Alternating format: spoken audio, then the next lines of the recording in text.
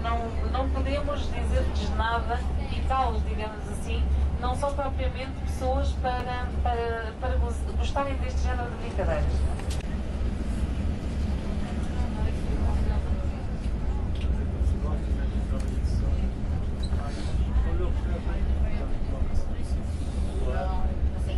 É aqui no Monjuíque que nós vamos ter, eh, junto ao Monjuíque do outro lado, vamos ter uma exposição universal também.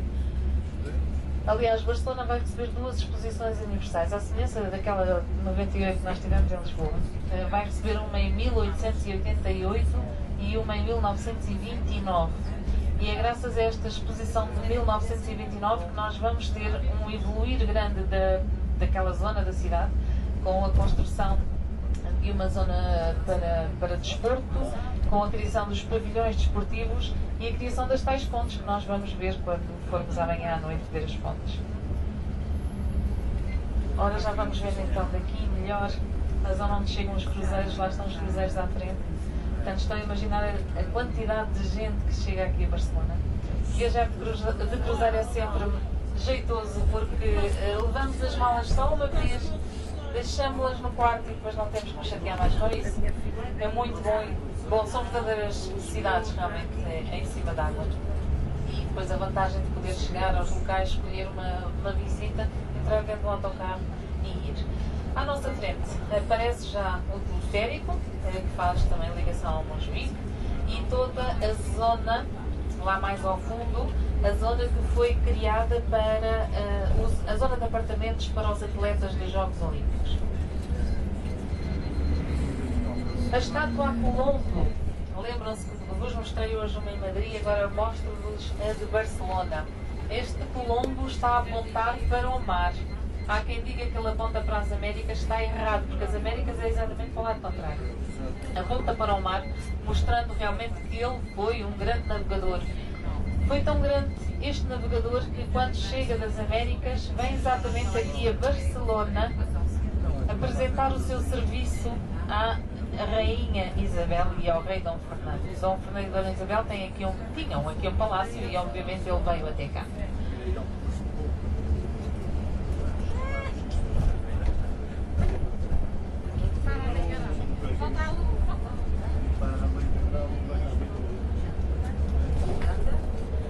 Esta estátua do Colombo vai marcar o fim da artéria mais conhecida de toda Barcelona, que é a Rambla. A Rambla. A Rambla hoje é considerada, não é a única Rambla que existe na Catalunha. Todas as cidades da Catalunha, todas as vilas importantes têm uma Rambla. E uma Rambla é o ponto de encontro de uma população uma rua onde há cafés e, e as pessoas estão, mais uma vez, para estar em contato, para transmitirem uh, cultura. A ideia é sempre transmitir cultura, a tal história da movida espanhola. E esta Rambla é de todas a mais conhecida, sem dúvida. Tem uma vida completamente diferente durante o dia daquela que ali se passa durante a noite. do nosso hotel não conseguimos vir até do nosso hotel é bastante distante, os senhores vão perceber agora. A pé uh, são quase 40 minutos. E parece perto. Mas os quarteirões são realmente bastante grandes. A zona que temos então do lado direito foi toda a zona que foi recuperada durante os Jogos Olímpicos para receber uh, toda esta zona. Aqui tínhamos uma série de casas velhas e de bares e por aí fora que foram arrasados para podermos ter uh, o aparecimento de, de bares de categoria, de restaurantes com categoria.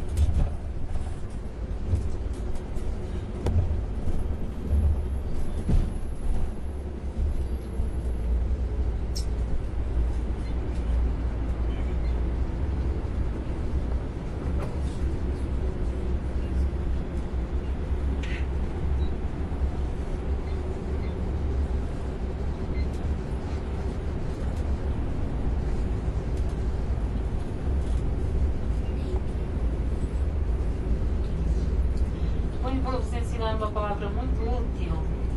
O catalão, se estava eu a falar há pouco sobre esta língua, é muito parecido com o português, incrivelmente. Não na escrita, mas na sonoridade. Imaginem só como é que se diz bom dia em catalão. Bom dia. Bom dia, é Isla Lindo. Bom dia. Bom, à nossa frente aparecem já as torres, eh, que chamam aqui quase as torres gêmeas de, de Barcelona, entre eles o edifício Mafre, o edifício dos seguros. É considerado então um dos primeiros eh, edifícios modernos aqui da cidade de Barcelona.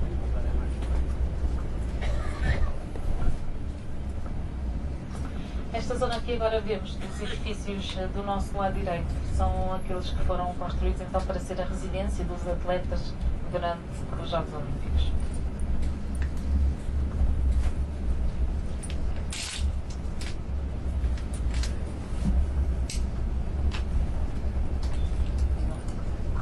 Encontrei ali no lado. Lá. Já sei.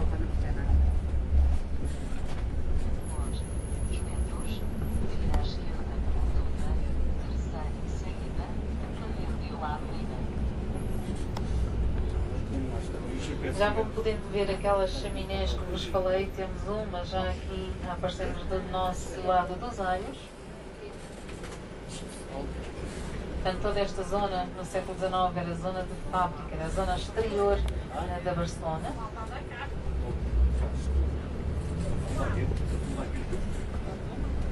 E se seguíssemos sempre, sempre, sempre em frente, iríamos ter a praia, a zona da praia de Barcelona. Portanto, tem, tem praia na cidade, que é, é o que se chama qualidade de vida. É uma praia extraordinária, com água quente do Mediterrâneo e areia fininha, que é uma delícia. Também é para aquele lado que fica a zona da Universidade de Barcelona. Portanto, os universitários estão ali bem a jeito quando não querem ir às aulas, vão à praia. É fácil. Seja, quase sempre à E aqui, aqui mesmo em frente tem a quantidade de baixos que arrastou então da, da recuperação que fizeram para 1992. portanto, O que mais querem eles?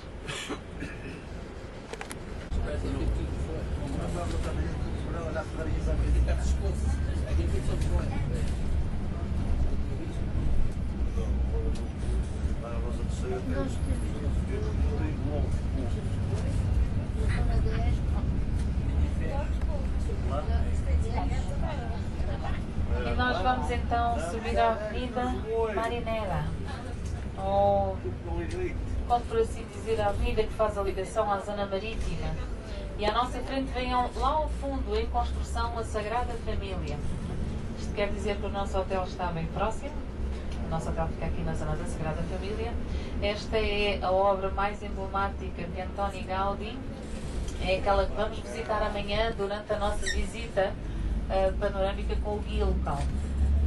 Portanto, sobre a Sagrada Família, vou deixar então para que o nosso guia fale amanhã. Vou chamar-vos a atenção para uma torre também dos anos 90 que vai surgir do nosso lado direito, eh, que tem uma forma tão peculiar e os próprios barcelonenses não gostam, não gostam dela e dão-lhe uma alcunha fantástica. Chamam-lhe o supositório de Barcelona. E já vão perceber porquê. É verdade. Tem exatamente a forma do supositório. Aquele que não é para pôr na conta da mãe é para pôr no outro lado. Exatamente. E esta torre, que se chama Torre Akbar, ah, esta torre ah, que os barcelenses não gostam foi concebida de uma forma especial. Ela é cilíndrica, claro, não é? até a metade, até a zona que é, que é a direita, ela é concebida em cimento e revestida a vidro e placas de alumínio colorida e depois a zona que começa a estreitar é, é feita em, em, em metal e eh, alumínio e vidro também, não é? Portanto, ela é característica porque durante a noite, essencialmente, iluminada, ganha, ganha outra vida. Bom, nós estamos próximo, próximo então do nosso hotel. Quero-vos fazer as recomendações para agora. O nosso jantar hoje vai ser às 9 da noite e é buffet. ok? Sendo buffet, é como ontem, vamos tentar ter alguma lógica no buffet. Vamos começar pela zona das saladas, passar aos salgados, às sopas e ac- acabar nas sobremesas, está bem? Ontem a fila estava completamente ao contrário. E vou-vos pedir também eh, para não saírem do autocarro, já, vão ficar aqui um bocadinho à porta do hotel, enquanto eu vou buscar as chaves, vou falar com os senhores e já vos venho cá chamar, está bem? Quanto a amanhã, amanhã vamos sair também às 9 da manhã, portanto vamos ter o nosso guia local e vir ter connosco e começaremos então a visita de cidade. Portanto, às 9 isto quer dizer que uh, vamos pedir o despertar às 7 e meia e o pequeno almoço a partir das 8.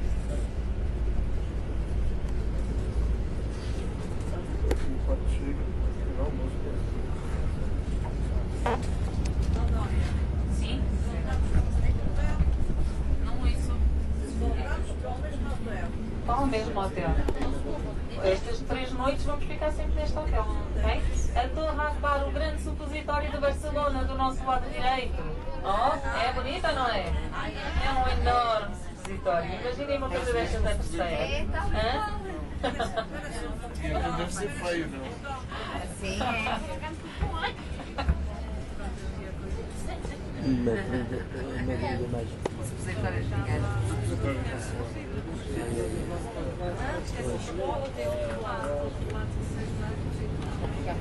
Foste um bairro da Lapa. amanhã vamos então ouvir falar da história da Sagrada Família.